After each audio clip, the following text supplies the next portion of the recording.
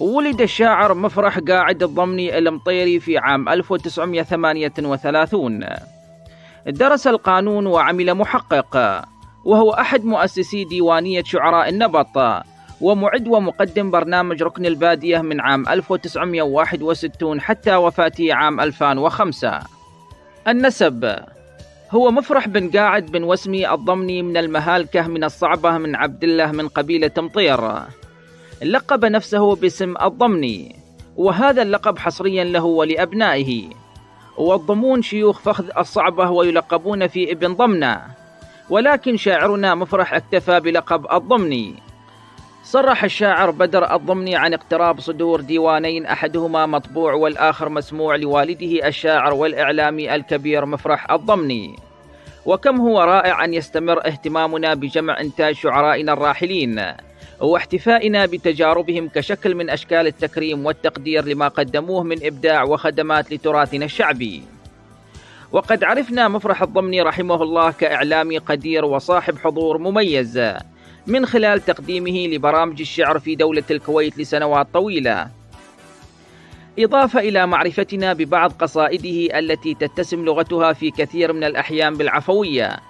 وعدم خروج صورها عن عناصر الصورة التقليدية لدى الشعراء الشعبيين. ومن أشهر قصائده قصيدة رائعة في الحكمة والنصح. هذه القصيدة وغيرها تضمنها ديوانه الأول ديوان الضمني الذي صدر الجزء الأول منه في عام 1989 وكتب مقدمته الشاعر المعروف طلال السعيد. وقد تنوعت أبواب الديوان الثمانية بين شتى أغراض الشعر. وفي باب قصائد الحكم والنصائح والنقد الاجتماعي. وتضمن ديوان الضمني أيضا مساجلاته مع شعراء كبار كمحمد الخس ومرشد البذال ومتعب العثمان السعيد وعبد الله المهندي وغيرهم الكثير. وتضمن الباب السابع من الديوان مقتطفات قصيرة من محاورات الشاعر مع فحول ساحة المحاورة كمطلق الثبيتي وصياف الحربي وأحمد الناصر الشايع. وخلف بن هذال وشليويح بن شلاح ومستور العصيمي وجار الله الصواط وغيرهم.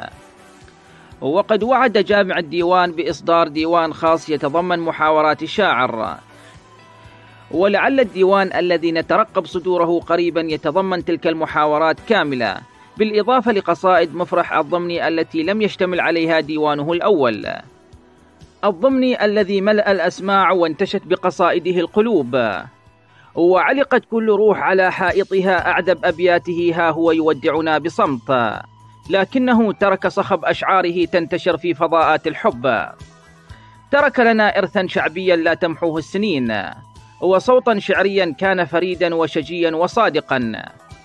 الضمني غادر الفانية لكنه لم يغادر بيوت قلوبنا. وفي ختام هذا التقرير لا تنسوا الاشتراك والإعجاب في هذه القناة. لكم مني أطيب الأمنيات والسلام عليكم ورحمة الله تعالى وبركاته.